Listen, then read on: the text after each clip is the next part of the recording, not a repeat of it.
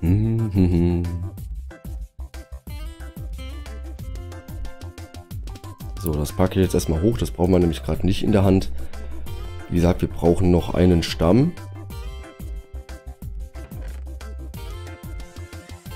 Dann bräuchten wir sehr viel Zäune. Wovon haben wir denn viele Zäune?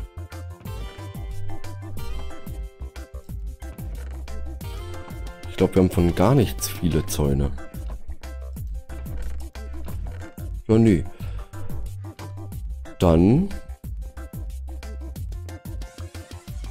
bleiben wir aber dem Schwarzeuchen, Schwarzeichenholz, ne? Das Schwarzeichenholz. Äh, ich würde sagen, wir bleiben dem Schwarzeichenholz. Hier einfach mal treu und machen uns daraus gleich ein paar Zäunchen für ein paar Gärten. Dann brauchen wir sehr, sehr, sehr viel Cobblestone.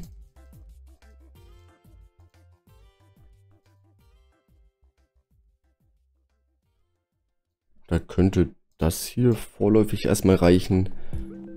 Und wir brauchen sehr viele Glasscheiben. Dafür werde ich mal ja, so ein Stack verbraten. Das dürfte dann eigentlich ausreichen. Dafür brauche ich aber auch Kohle. Wir haben keine Kohle oben.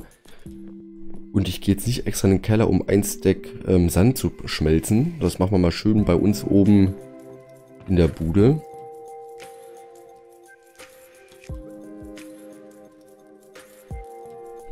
Wir müssen ja nicht mehr laufen als unbedingt nötig. Ich bin ja allgemein auch sehr lauffaul.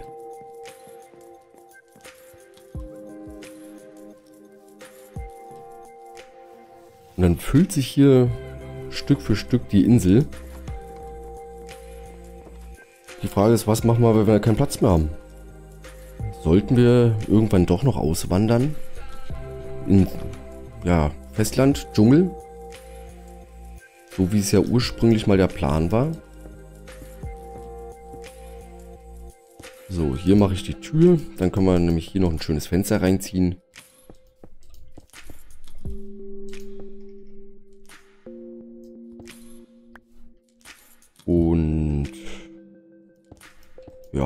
Hier können wir natürlich auch ein schönes Fenster auf mit Sicht aufs Kürbisfeld machen. Was hier eines Tages aber auch noch weg soll. Auch das soll in den Keller ziehen.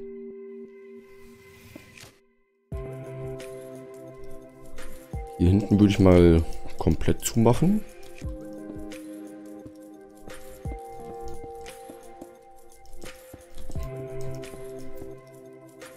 Und hier machen wir auch wieder bloß ein kleines Fenster. Aber diesmal eher so vorne.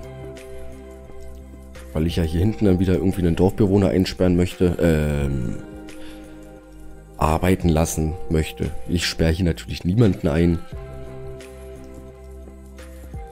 Hier machen wir die Tür auf der anderen Seite. Um ein bisschen Abwechslung zu bekommen. Da haben wir sie nämlich mittig. Die Häuser sollen ja nicht alle gleich sein.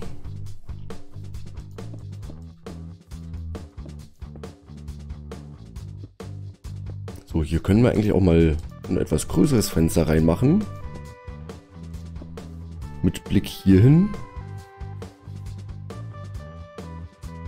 Dann würde ich hier in der Ecke den Arbeiter hinstellen.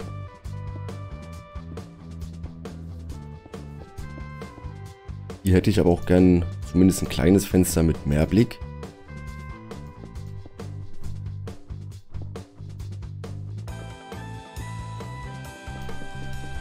Und dann machen wir hier vorne bloß so ein, so ein kleines Fenster noch mit hin. Sollte, denke ich, ausreichen.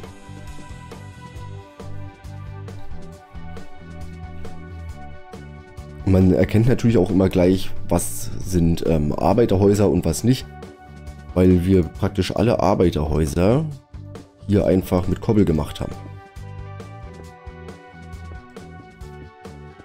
Spricht ja auch absolut nichts dagegen. Das ist ja das, das einfache Volk.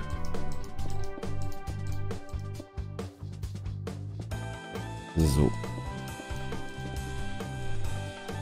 Hier machen wir auch wieder bloß so ein kleines Fenster vorne dran. Mit Blick auf den Berg. Hier dasselbe.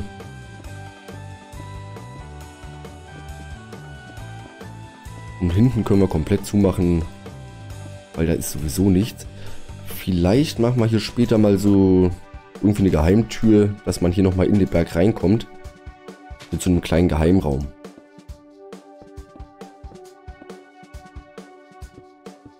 Irgendwie irgendwas in diese Richtung.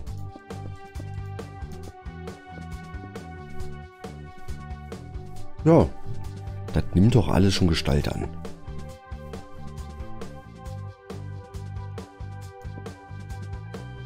So, wir brauchen hier auf jeden Fall noch eine Tür. Da wird auch niemand eingesperrt.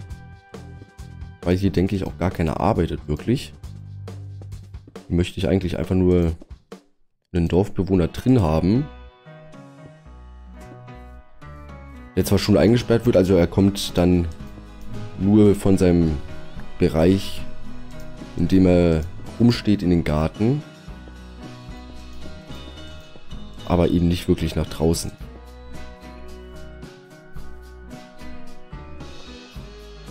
Das ist dann hier praktisch einfach so der Blumenladen.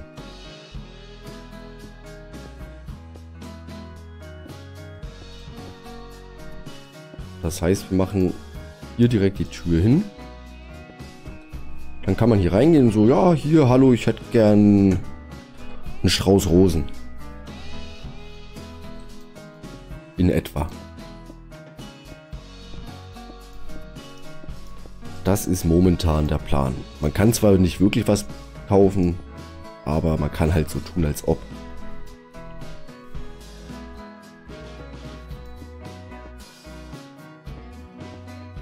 Und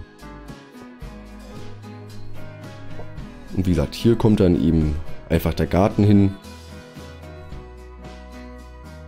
Wobei wir den Tresen dann natürlich wieder aus Holz machen, weil wir wollen trotzdem reinkommen. Und das lösen wir dann einfach mit einer Falltür. Wie beim Weber auch. So.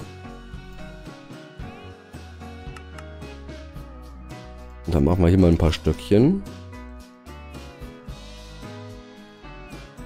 Und ein paar Zäunchen. 15 Stück ist jetzt nicht so die Welt. Hier können wir eigentlich auch noch so ein bisschen nach hinten gehen.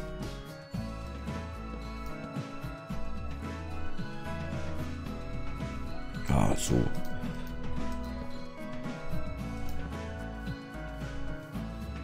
Ich möchte dann eigentlich hier irgendwie einen Weg, dass hier so ein Zweierbreite mit Blumen ist und hier auch.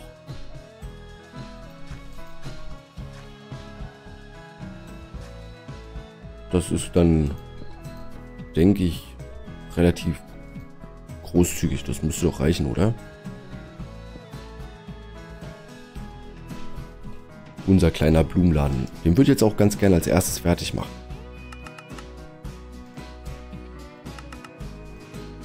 Nochmal neun Zäune. Das müsste dann eigentlich ausreichen.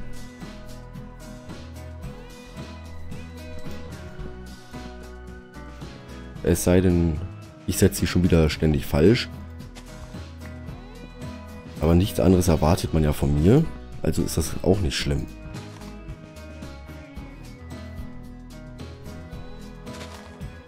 Da werden wir dann mal eine Zeit lang sehr viel Knochenmehl brauchen.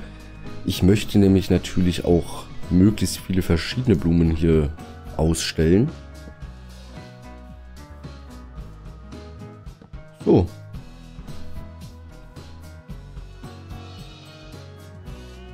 Dann machen wir hier gleich eine Tür rein.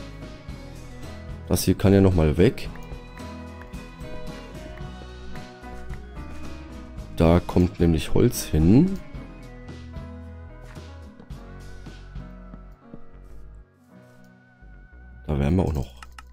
Sehr, sehr viel brauchen. Falltüren werden wir auch noch einige brauchen können. Oh, da ist wieder ein Kätzchen. Haben wir wieder genug Dorfbewohner? Ja. Das ist ja schön. So, wir kommen hier nämlich rein und raus, aber halt sonst niemand.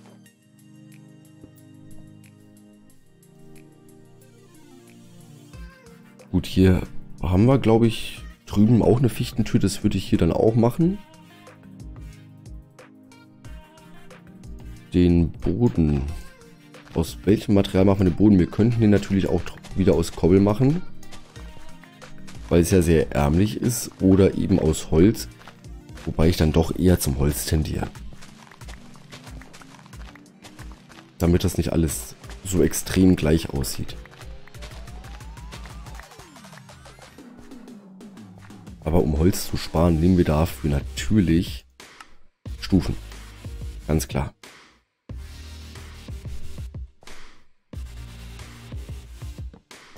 Hm, hm, hm, hm.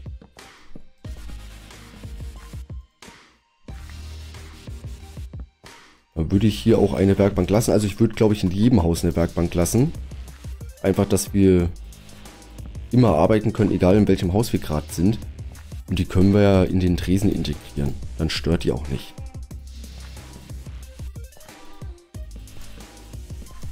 So, dann hätten wir den Boden gleich.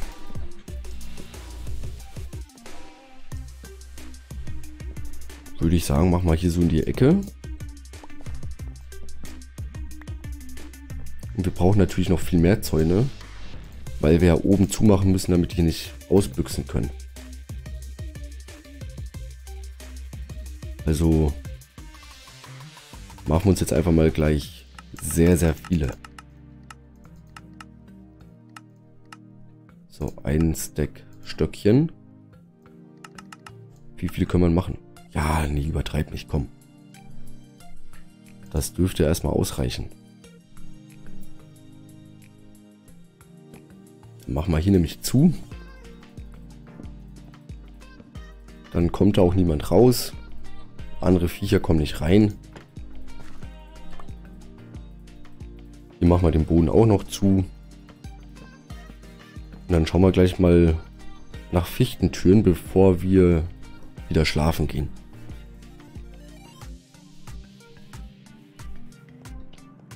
Und Schilder brauchen wir natürlich auch. Wir müssen ja auch an die Häuser schreiben, wer da drin wohnt. Wie eben zum Beispiel, ja, der Blumenladen halt. So, davon haben wir noch sechs Stück.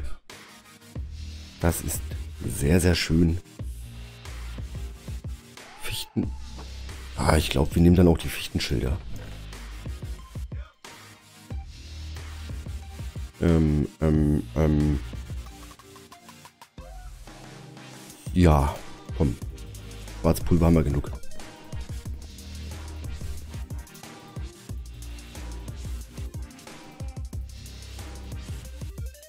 Eigentlich dürfte da hinten sowieso nichts spawnen, es ist ja hell. Auch hier diesen Sandblock werden wir jetzt entsorgen. Der war lang genug da. Dann müssen wir natürlich auch diese ganzen Häuser hier irgendwie von innen irgendwann noch dekorieren. Soll ja nicht aussehen wie bei armen Leuten. Also, ja doch, aber halt nicht so arm.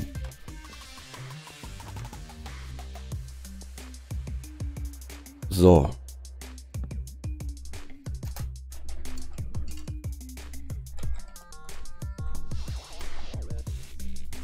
Ja, schreiben sollte man auch können. Das ist jetzt einfach der Blumenladen. Wenn euch jemand einfällt, der da drin wohnen könnte, dann schreibt mir einfach mal bei Facebook oder schreibt sie in die Kommentare. Dann können wir da auch noch den einen oder anderen Namen verteilen. Wäre ja auch ganz nett wenn hier nicht nur so die, die Leute alle so anonym leben würden.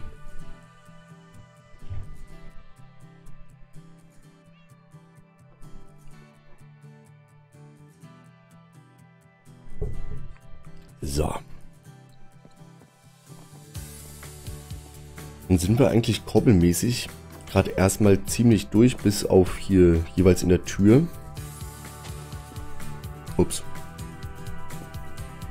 Türen können wir eigentlich auch gleich setzen. Dann haben wir nämlich wieder Platz im Inventar, könnten unter anderem gleich nach Blümchen schauen.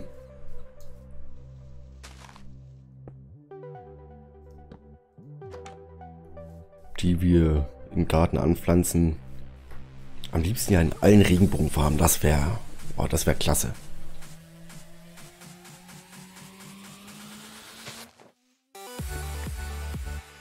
So, haben wir das. Danach brauchen wir halt noch einen Haufen Dächer, ein bisschen Boden und halt Deko. Aber ich glaube, das kriegen wir hin. So, du liebe Fichte, mit dir bin ich jetzt hier erstmal fertig. Haben wir nicht zufälligerweise sogar Schwarzeichenstufen noch? Ja, da haben wir sogar noch ein paar. Den Kobbel und die Erde, das können wir jetzt erstmal aufräumen.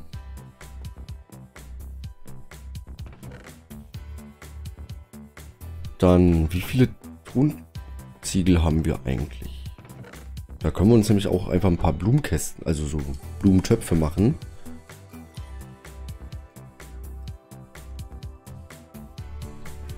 Mache ich jetzt auch einfach mal. Haben wir elf Stück. Für den Anfang sollte das reichen. Hier, Koppel, haben wir erstaunlich wenig gebraucht. Ich dachte nicht, dass das reicht.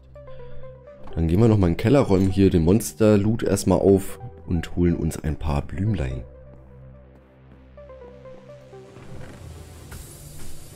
So, das brauchen wir nämlich definitiv alles momentan nicht.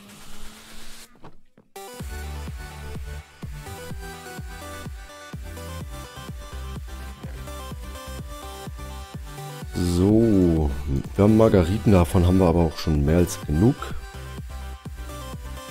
Mohn haben wir noch nicht. Ich will aber eigentlich wirklich von jedem erstmal bloß eins. Was allerdings heißt, dass wir jetzt äh, ja ein bisschen Blumen farmen müssen.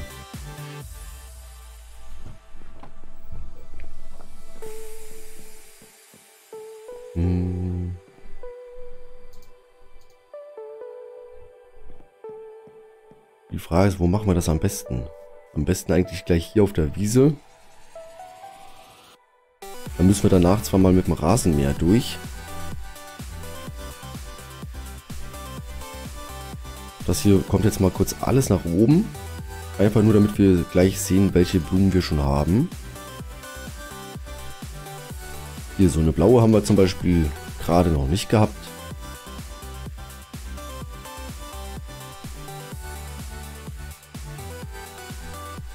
Das meiste ist halt hier einfach leider rot und weiß. Äh, rot und gelb meine ich natürlich.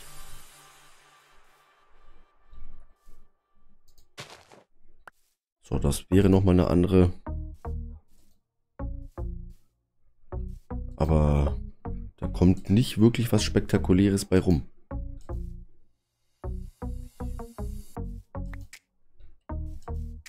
Ob wir das alles mit komplett verschiedenen Blumen hinkriegen, wage ich jetzt dann langsam zu bezweifeln.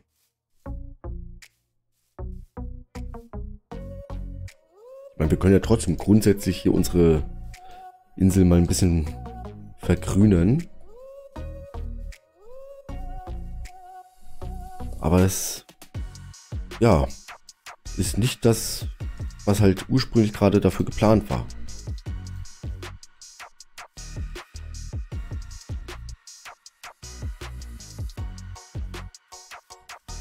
Und wenn überall Außenblumen sind, dann würde ja auch der Blumenladen nichts bringen. Das heißt, wir machen das hier alles wieder weg. Das wird auch einige Weizenkörner geben.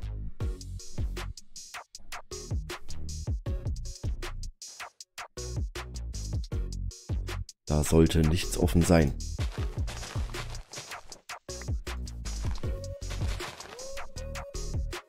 Also erstmal das hohe Gras alles und eben die Blumen normales Gras darf gerne da bleiben. Aber die Blumen gibt es dann eben nur im Blumenladen halt. Wie sich das gehört.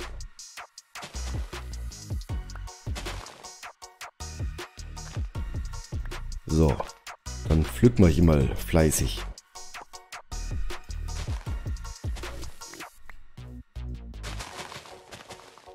Und stutzen zeitgleich den Rasen.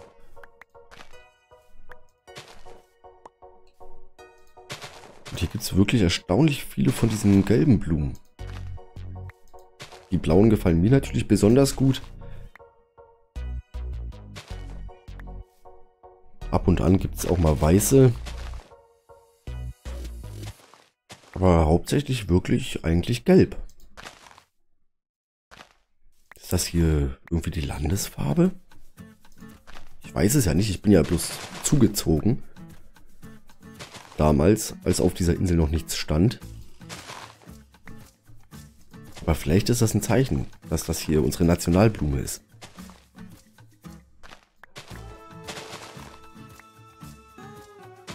Da müssten wir ja fast auf unseren Reisen ab und an, was wir eigentlich auch wirklich mal wieder machen sollten, ähm, darauf achten, auch fremde Blumen mit einzuführen, die wir hier sonst nicht haben.